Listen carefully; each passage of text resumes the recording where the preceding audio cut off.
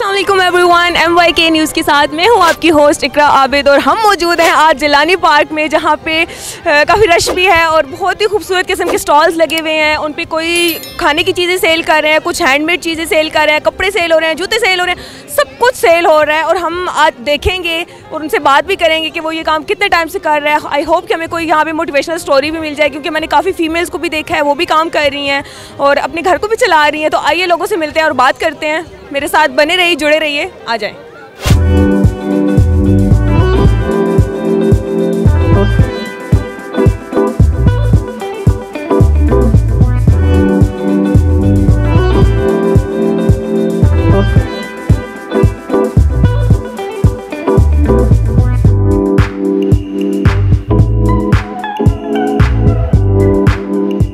अस्सलाम वालेकुम। वालेकुम सलाम मुझे सबसे पहले ये बताओ लड़का हो या लड़की? जी मैं लड़का हूँ। लड़का हूँ। तो यहाँ पे ये सेट गेटअप करके क्या कर रहे हो? ये मेहनत कर रहा हूँ जी। मेहनत कर रहे हैं। तो कितना कमा लेते हो एक दिन का? ये ज़्यादा नहीं हज़ार आठ सौ कमा लेता हूँ इतनी महँगाई हो गई। आपको लगता है कि आपका आगे भी गुजारा इससे हो जाएगा? बस जी बहुत महँगाई है। देख रहे हैं आपके सामने यूँ हालो बेहाल होकर मेहनत कर रहे हैं। इसको मैं सेल करता हूँ। ये राड है शालमी से आता है। ये सिक्सटी पीस का हमें पड़ता है और एटी का हम सेल कर रहे हैं ट्वेंटी पीस बस लाइट होती है हाँ जी इसके साथ फ़ंक्शन होते हैं। ये बताएँ कि आपकी जो कैब थी ये पहले खूबसूरत थी या अब खूबसूरत लग रही है? पहले भी खूबसूरत थी और अब आपके सर पे भी खूबसूरत है। कैसे बनाते हैं ये? बस ये इसमें हाथ का काम भी है और डाई का भी है। कितना टाइम हो गया आपको बनाते हुए? ये तो कारीगर की बात है कोई घंटा में बनाते हैं दो घंटे में बनाते हैं इस तरह। आप खुद बनाते हैं या कहीं से बन के आते नहीं वो उधर से लाता हूँ खुद नहीं बनाता। कहाँ से लाते हैं? शोर से लाता हूँ। शावर से कितने की लाते हैं और यहाँ पे कितने की सेल करते हैं? तो इधर आठ सौ छः सौ आठ सौ का। लाया कितने का हो? आएगा तो वो वो तो अलग बात है इधर। नहीं बता रोज़ का छः हज़ार करा है स्टॉल का एक लाख सत्तर हज़ार रुपये बीस दिन का। तो ये इसमें प्रॉफिट मतलब है। इसके अलावा और कोई शॉप भी है आपकी? जी उधर शोर में है। शावर में और लाहौर में अगर लेना चाहें तो? लाहौर में नहीं लेकिन शालमी में माल देते हैं शालमी में। मैं खड़ी हूँ यहाँ, एक स्टॉल है, मुझे बहुत पसंद आया है क्योंकि काफ़ी हाथ से बनी हुई चीज़ें यहाँ पे मौजूद हैं। आप भी देखें, यहाँ पे बादशाही मस्जिद इन्होंने लकड़ी से बनाई हुई है, मीनार पाकिस्तान है। साथ में आप वॉसेस देख सकते हैं, घड़ियाँ देख सकते हैं, ये कुरानी आयात लिखी हुई हैं, कलमा शरीफ लिखा हुआ है, ज्वेलरी बॉक्सेज हैं और भी बहुत कुछ है। सिलबटा भी है। और ड्राई फ्रूट रखने के लिए बहुत ही खूबसूरत चीज़ें बनी हुई हैं। और बाकी आप खुद देख सकते हैं, आइए जो इनके ओनर हैं, उनसे बात करते हैं और उनसे पूछते हैं कि कैसे बनाते हैं ये? अस्सलाम वालेकुम सर। वालेकुम सलाम। क्या हाल है आप अल्हम्दुलिल्लाह जी ठीक ठाक इतनी खूबसूरत चीज़ें आप खुद बनाते हैं। ये कुछ हम खुद बनाते हैं कुछ हम मार्केट से लेते हैं। ये हमारे सरगोदा चनियोट शहर है वहाँ पे सारा कुछ ये बनता है। कितना टाइम लग जाता है? अगर एक ही आपने ज्वेलरी बॉक्स बनाना है तो उसमें आपको कितनी मेहनत बॉक्स में इसमें ये था कि डिवाइड होता है। एक बंदा बनाता है इसको दूसरा बंदा इसकी कढ़ाई करता है तीसरा बंदा इसको रेगमर लगा के फिनिशिंग देता है और चौथा बंदा जो इसको पॉलिश वगैरह करके रेडी करता है। ये एक पीस को चार बंदे जो है ना वो हैंडल करते हैं फिर जाके एक पीस तैयार होता है। तो आपकी इसके अलावा कोई शॉप भी है या आप सिर्फ़ स्टॉल लगा कारखाना है हमारा कारखाना हम ये अपना बनाते हैं। शॉप मेरी नथिया गली में है।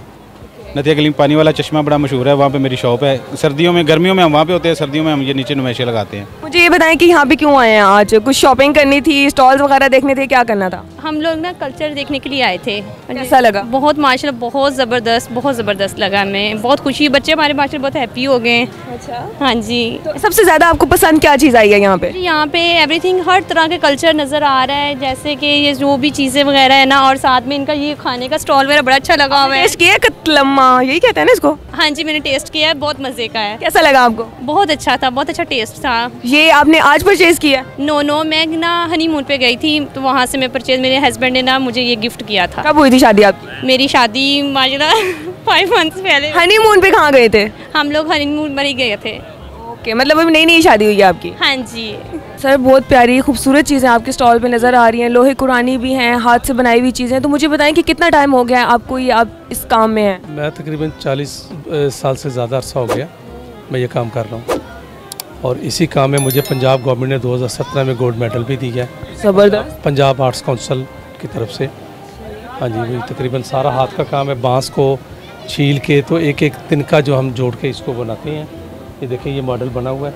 चाइनीज़ स्टाइल है। यानी कि पूरी टीम है आपकी? हाँ पूरी टीम है। तो एक अगर ये छोटी ये जिस तरह आप घर दिखा रहे हैं ये घर बनाने में कितना टाइम लग जाता होगा? तीन से चार घंटे लग जाते हैं। अच्छा, मुझे ये बताएँ कि इतनी रोटी गोल आपने सबसे पहले कैसे बना ली? पेड़ा होता है। ये रोटी है या क्या है? लम्मा कतलमा कैसे बनता है ये? ये मैदे का बनता है। मैदे का बनता है। तो ये मीठा होता है खट्टा होता है कैसा होता है? होता है मसाले वाला होता है। हम टेस्ट कर सकते हैं? हाँ जी। अगर अगर अच्छा ना हुआ तो? अच्छा हो रहा क्यों नहीं अच्छा हो पाकिस्तानी पिज़्ज़ा है असल। पाकिस्तानी पिज़्ज़ा है तो बहुत अच्छा है। बहुत अच्छा है लोग इसका आते हैं। वैसे आप लोगों को आइडिया होगा कि जहाँ पे गोलगप्पे वहाँ पे लड़कियाँ तो मैं भी गोलगप्पे का स्टॉल देके भागती हुई यहाँ पे आई हूँ और मेरी यहाँ पे बहुत ही खूबसूरत बहन जो कि गोलगप्पे यहाँ पे बेच रही हैं उनसे बात करते हैं। असल वालेकुम। वालेकुम अस्सलाम। कैसी हैं आप? ठीक हूँ थैंक यू हाँ मुझे ये बताएँ कि गोलगप्पे आप यहाँ पे सेल कर रही हैं तो कब से कर रही हैं? मैम मुझे तो अभी 15 डेज़ हुए हैं। क्योंकि मैं लेट मैंने यहाँ पे ज्वाइन किया। अच्छा ये आपके अपने हैं या आप किसी के अंडर काम कर रही नहीं मैं अंडर किसी के काम कर रही हूँ यहाँ। ये हमारा सारा रेस्टोरेंट किसी के अंडर है वो हमें सारे लेबर रोज़ की रोज़ देते हैं। हैं ओके और हम लोग लेबर लेते हैं उनसे। अभी आपको 15 डेज़ हो गए हैं तो कैसा लग रहा है? यहाँ का एक्सपीरियंस कैसा रहा आपका? बहुत अच्छा है सारा स्टाफ भी बहुत अच्छा है। ऐसा फील नहीं होता कि अकेली लड़की हूँ। सारे ऐसे मिलजुल के बहनों भाइयों की तरह हम लोग काम करते हैं मिलजुल के। मेरा स्टॉल तो वैसे लड्डू पीटी का था लेकिन आज वो मेरा टारगेट कंप्लीट हो गया। आज मैं अभी आप यहाँ पे काम कर गोलगप्पों पे काम कर रही हूँ। सही। तो गोलगप्पे आपके टेस्टी होते हैं या ऐसे ही होते हैं? वैसे खुद बताना। मुझे तो आज का बहुत टेस्टी लग रहा है ये जो मैं खुद दो बार खा चुकी हूँ। बलोची सेटअप आपके हुलिये से लग रहा है कि आप बलोची हैं? मुझे ये बताएँ कि यहाँ पे आप ये किस तरह रेडी कर रहे हैं? कोयले पे सब्ज़ी आप रेडी कर रहे हैं तो इसमें क्या खास बात?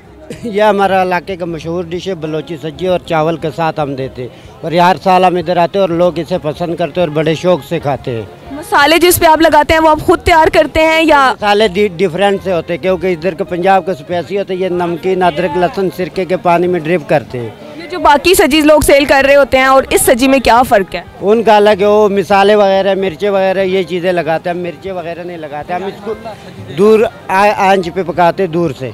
और हल्की आँच पे और ये लकड़ियों के सोटियों में तैयार करते जो जो ओरिजिनल तरीका है इसका। महँगी होती है या सस्ती है?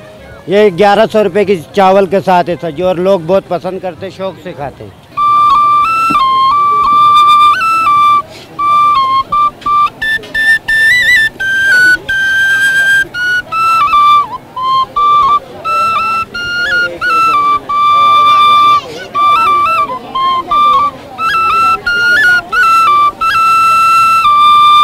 सर कितना अच्छा बजाते हैं आप बांसुरी?